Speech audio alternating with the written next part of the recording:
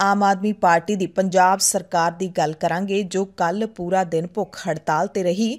ਜਦਕਿ ਵਿਰੋਧੀਆਂ ਨੇ ਮੁੱਖ ਮੰਤਰੀ ਭਗਵੰਤ ਮਾਨ ਤੇ ਸ਼ਹੀਦ ਆਜ਼ਮ ਸਰਦਾਰ ਭਗਤ ਸਿੰਘ ਦੇ ਜੱਦੀ ਪਿੰਡ ਖਟਕੜ ਕਲਾਂ ਨੂੰ ਸਿਆਸੀ ਹਿੱਤਾਂ ਦੇ ਲਈ ਵਰਤਣ ਦੇ ਦੋਸ਼ ਲਾਏ।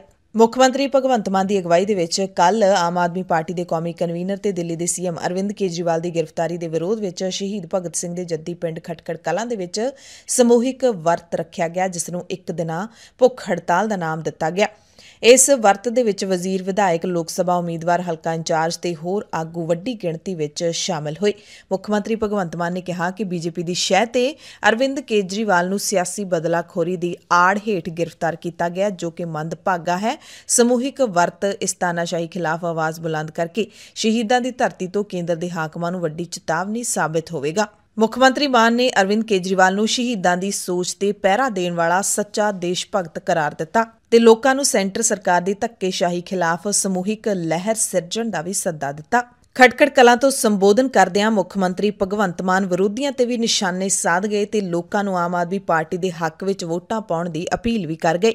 ਇੱਕ ਨੇ ਦੇਸ਼ ਲੈ ਕੇ ਦਿੱਤਾ, ਦੂਜੇ ਨੇ ਉਸ ਆਜ਼ਾਦੀ ਵਾਸਤੇ ਸਭ ਨੂੰ ਬਰਾਬਰਤਾ ਦਾ ਹੱਕ ਦੇਣ ਲਈ ਸੰਵਿਧਾਨ ਲਿਖ ਕੇ ਦਿੱਤਾ। ਅੱਜ ਦੋਨੋਂ ਖਤਰੇ 'ਚ ਨੇ। ਅੱਜ ਭਗਤ ਸਿੰਘ ਦੁਆਰਾ ਦਵਾਈ ਗਈ ਆਜ਼ਾਦੀ ਖਤਰੇ 'ਚ। ਅੱਜ ਡਾਕਟਰ ਡਾਕਟਰ ਸਾਹਿਬ ਦੁਆਰਾ ਲਿਖਿਆ ਹੋਇਆ ਸੰਵਿਧਾਨ ਖਤਰੇ 'ਚ। ਆ ਗੱਲ ਕਰਨ ਲਈ ਅਸੀਂ ਅੱਜ ਆਪਾਂ ਸਾਰੇ ਇਕੱਠੇ ਹੋਏ ਮੈਨੂੰ ਕਿਸੇ ਨੇ ਕਿਹਾ, ਕਹਿੰਦਾ ਜੀ ਇੰਨਾ ਕੁ ਪੁੱਛ ਲਿਓ।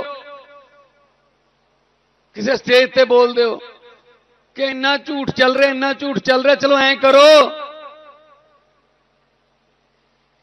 ਪ੍ਰਧਾਨ ਮੰਤਰੀ ਸਾਹਿਬ, ਜੇ ਤੁਸੀਂ ਆਪਣੀ ਡਿਗਰੀ ਨਹੀਂ ਦਿਖਾ ਸਕਦੇ, ਵੀ ਤੁਸੀਂ ਇੰਨੇ ਪੜ੍ਹੇ ਹੋਏ ਹੋ, ਡਿਗਰੀ ਨਹੀਂ ਦਿਖਾਈ ਅਜੇ ਤੱਕ।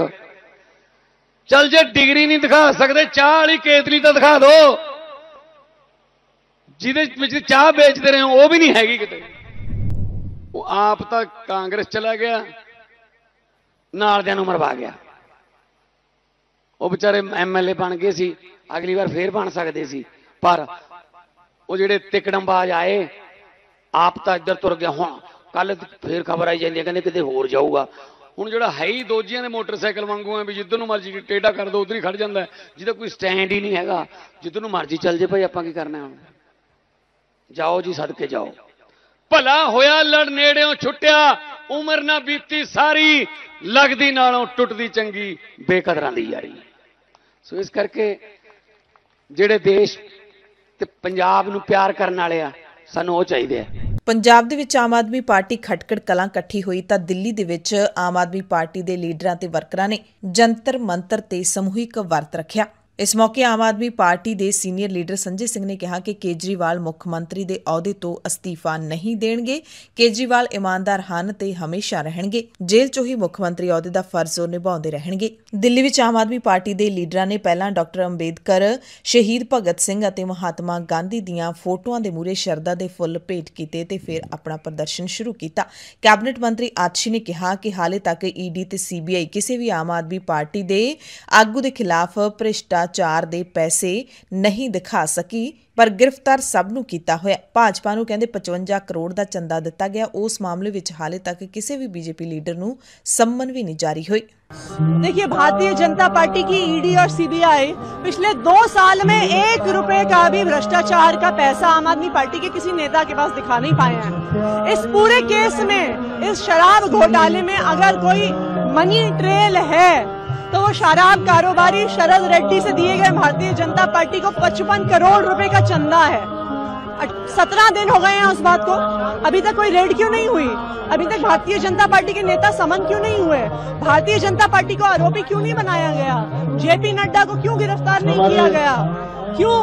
क्योंकि ईडी और सीबीआई सिर्फ़ और सिर्फ़ भारतीय जनता पार्टी का एक राजनीतिक हथियार बन के रह गया है। ਆਮ ਆਦਮੀ ਪਾਰਟੀ ਨੇ ਦਾਅਵਾ ਕੀਤਾ ਕਿ ਭਾਰਤ ਤੋਂ ਇਲਾਵਾ 13 ਹੋਰ ਮੁਲਕਾਂ ਦੇ ਵਿੱਚ ਇਸੇ ਤਰ੍ਹਾਂ ਦੇ ਵਿਰੋਧ ਪ੍ਰਦਰਸ਼ਨ ਹੋਏ। ਬੋਸਟਨ ਦੇ ਵਿੱਚ ਹਾਰਵਰਡ ਸਕੁਅਰ ਲਾਸ ਐਂਜਲਸ ਦੇ ਵਿੱਚ ਹਾਲੀਵੁੱਡ ਸਾਈਨ, ਵਾਸ਼ਿੰਗਟਨ ਡੀਸੀ ਵਿੱਚ ਭਾਰਤੀ ਦੂਤਾਵਾਸ ਦੇ ਬਾਹਰ ਨਿਊਯਾਰਕ ਟਾਈਮ ਸਕੁਆਇਰ ਤੇ ਟੋਰਾਂਟੋ, ਲੰਡਨ ਤੇ ਮੈਲਬਰਨ ਦੇ ਵਿੱਚ ਵੱਡੀ ਗਿਣਤੀ ਵਿੱਚ ਲੋਕਾਂ ਨੇ ਕੇਜਰੀਵਾਲ ਦੀ ਹਮਾਇਤ ਵਿੱਚ ਪ੍ਰਦਰਸ਼ਨ ਕੀਤੇ।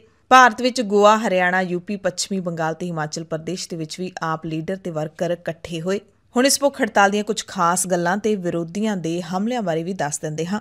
ਆਮ ਆਦਮੀ ਪਾਰਟੀ ਨੇ ਭੁੱਖ ਹੜਤਾਲ ਸ਼ੁਰੂ ਕਰਨ ਦਾ ਸਮਾਂ ਭਾਵੇਂ ਸਵੇਰੇ 11 ਵਜੇ ਦਿੱਤਾ ਸੀ, ਪਰ ਪੰਜਾਬ ਦੇ ਮੁੱਖ ਮੰਤਰੀ ਭਗਵੰਤ ਮਾਨ 1 ਘੰਟਾ ਦੇਰੀ ਦੇ ਨਾਲ 12 ਵਜੇ ਪਹੁੰਚੇ ਅਤੇ ਭੁੱਖ ਹੜਤਾਲ ਸ਼ਾਮ ਨੂੰ ਖਤਮ ਹੋਣ ਤੋਂ ਪਹਿਲਾਂ ਹੀ ਇੱਥੋਂ ਚਲੇ ਗਏ। ਤੇ ਆਮ ਆਦਮੀ ਪਾਰਟੀ ਦੀ ਭੁੱਖ ਹੜਤਾਲ ਕਰਕੇ ਆਮ ਲੋਕਾਂ ਨੂੰ ਸ਼ਹੀਦੀ ਸਮਾਰਕ ਤੇ ਜਾਣ ਤੋਂ ਰੋਕਿਆ ਗਿਆ।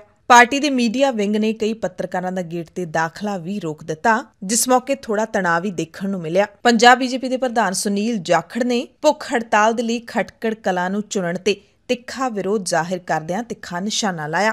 ਜਾਖੜ ਨੇ ਕਿਹਾ ਕਿ ਸ਼ਹੀਦ ਆਜ਼ਮ ਸਰਦਾਰ ਭਗਤ ਸਿੰਘ ਸਭ ਦੇ ਸਾਂਝੇ ਹਨ ਅਤੇ ਉਹਨਾਂ ਦੇ ਜਨਮ ਸਥਾਨ ਤੇ ਜਾ ਕੇ ਜਿਸ ਤਰ੍ਹਾਂ ਆਮ ਆਦਮੀ ਪਾਰਟੀ ਨੇ ਸ਼ਰਾਬ ਨੀਤੀ ਨਾਲ ਸੰਬੰਧਿਤ ਕਪਲੇ 'ਚ ਫਸੇ ਆਪਣੇ ਲੀਡਰ ਅਰਵਿੰਦ ਕੇਜਰੀਵਾਲ ਦੀ ਤਰਫਦਾਰੀ ਦਾ ਡਰਾਮਾ ਕੀਤਾ ਹੈ, ਉਸ ਨਾਲ ਲੱਖਾਂ ਪੰਜਾਬੀਆਂ ਦੇ ਹਿਰਦੇ ਬਲੂੰਦਰੇ ਗਏ ਨੇ ਤੇ ਇਸ ਕਰਕੇ ਮੁੱਖ ਮੰਤਰੀ ਭਗਵੰਤ ਮਾਨ ਨੂੰ ਸਾਰੇ ਪੰਜਾਬੀਆਂ ਤੋਂ ਮਾਫੀ ਮੰਗਣੀ ਚਾਹੀਦੀ ਹੈ। ਆਪਣੀ ਕੁਰਬਾਨੀ ਇਸ ਕਰਕੇ ਨਹੀਂ ਸੀ ਦਿੱਤੀ ਵੀ ਇਸ ਤਰ੍ਹਾਂ ਆ ਕੇ ਉਹਨਾਂ ਦੇ ਇਸ ਪਾਵਨ ਸਥਲ ਦੇ ਉੱਤੇ, ਸ਼ਹੀਦਾਂ ਦੇ ਸਮਾਰਕ ਦੇ ਉੱਤੇ ਆ ਕੇ ਆ ਪਖੰਡ ਕੀਤਾ ਜਾਵੇ। ਇੱਕ दारू ਦੇ ਘੁਟਾਲੇ, ਇੱਕ ਭ੍ਰਿਸ਼ਟਾਚਾਰੀ ਵਾਸਤੇ ਆ ਕੇ ਤੁਸੀਂ ਉੱਥੇ ਉਹਦੀ ਪੈਰਵਾਈ ਕਰੋ। ਤੁਸੀਂ ਤੇ ਤੁਹਾਡੇ ਐਮਐਲਏ ਸਾਹਿਬ। ਤੇ ਇੰਨਾ ਹੀ ਨਹੀਂ।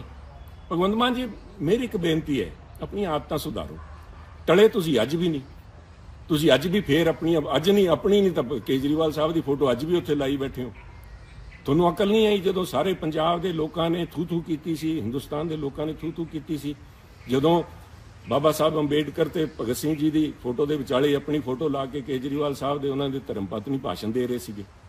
ਨਹੀਂ, ਤੁਹਾਨੂੰ ਤੁਹਾਡੇ ਕੰਨਾਂ ਤੇ ਹੀ ਗੱਲ ਪਈ। ਤੁਸੀਂ ਤਾਂ ਸਾਰੇ ਦਿਨ ਸੋਸ਼ਲ ਮੀਡੀਆ ਦੇਖਦੇ ਹੋ। ਸਾਰੇ ਦਿਨ ਤੁਹਾਡਾ ਕੰਮ ਹੀ ਆ ਵੀਡੀਓ ਬਣਾਉਣ 'ਚ, ਸੈਲਫੀਆਂ 'ਚ ਲੱਗਿਆ ਰਹਿੰਦੇ ਹੋ। ਟਲੇ ਤੁਸੀਂ ਅੱਜ ਵੀ ਨਹੀਂ। ਆ ਤੁਹਾਡਾ ਧਰਨਾ ਤੇ ਤੁਹਾਡੇ ਐਮਐਲਏ ਸਾਹਿਬਾਨ ਦਾ ਧਰਨਾ ਚਾਹੀਦਾ ਸੀਗਾ ਤਰਨਤਾਰਨ ਦੇ ਅੰਦਰ।